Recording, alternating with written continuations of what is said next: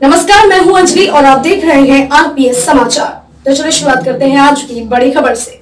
आंधी से आम को हुआ नुकसान, लेकिन पानी से फल का साइज़ भी बढ़ेगा। बारिश शहरों में आम जाना हुआ शुरू। लखनऊ की मंडी में 10 जून के बाद पहुंचेगा आम।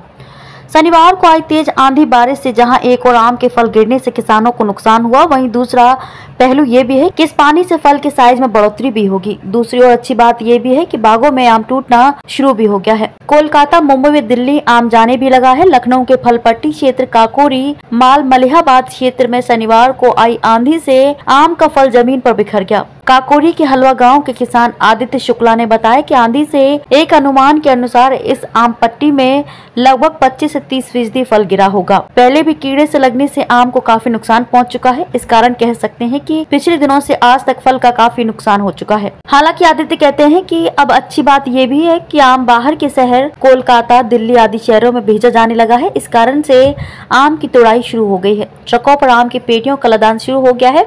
ट्रक निकल रहे हैं। आदित्य बताते हैं कि बाहर भेजने के लिए फल को थोड़ा कच्चा ही तोड़ लिया जाता है, जो दूसरे शहर की मंडी तक पहुँचते पहुँचते ही पक जाता है। वहीं केंद्रीय उपोष्ण बागवानी संस्थान के प्रधान वैज्ञानिक डॉक्टर सुशील कुमार शुक्ला ने बताया कि आंधी से आम को जो नुकसान तो हो गया, लेकिन इस तरह की बरसात से फल के साइज़ में बढ़ोतरी भी हो जाती है, जिससे दाम अच्छा मिल जाता है। लेकिन लगातार बारिश नहीं होनी चाहिए। इसके अलावा उन्होंने बताया कि इसके बाद धूप निकलने से आम पकना शुरू हो जाएगा। हालाँकि उन्होंने इस बात को भी बताया कि इस बार कीड़े और इस आंधी से आम का नुकसान काफ़ी हो चुका है।